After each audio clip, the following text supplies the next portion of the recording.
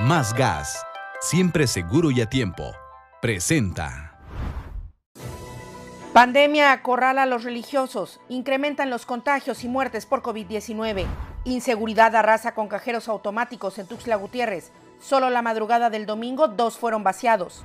Tampa Bay y Kansas City los protagonistas para edición 55 del Super Bowl. Lista la exposición pictórica Ticambach en la Galería de Arte del Teatro de la Ciudad de Emilio Rabaza.